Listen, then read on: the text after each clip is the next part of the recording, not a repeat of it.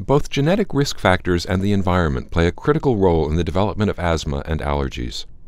Epidemiologic studies show that fewer children raised on traditional dairy farms have asthma.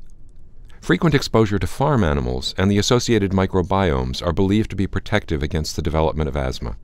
The Amish and Hutterite populations in the United States share a common Central European ancestry, and both live in farming communities. Yet the prevalence of childhood asthma is four times as high among the Hutterites. Can differences in farming techniques and exposure to farm animals explain the difference in rates of asthma?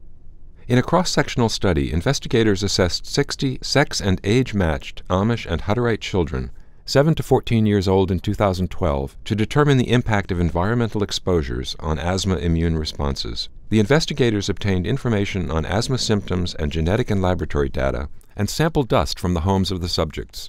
Dust was analyzed for endotoxin and allergen levels and the microbiome, and blood was analyzed for signs of activation of innate or adaptive immunity.